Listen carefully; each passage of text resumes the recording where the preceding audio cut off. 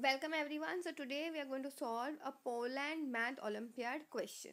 The question is root of x plus 1 plus root x is equals to what? 11. So here we need to find the value of x. Okay, so let's keep one root on one side and let's shift the root x on the other side. So here we have something like this. Now as we all know, in order to remove the roots, we need to square both the sides.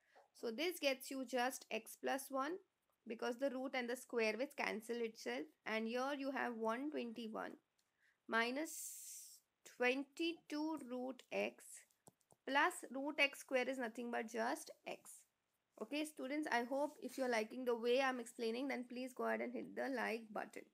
Okay so now here we can say this is positive x this is also positive x so we will cancel both of them and we'll shift the number on one side and the x on the other side. So we have what? 22 root x is equals to 121 minus 1 so root x is nothing but what? 120 upon 22 so here i can say therefore root x is nothing but what? 60 upon 11 so x will be nothing but squaring on both the sides. So final answer will be nothing but 3600 upon 121.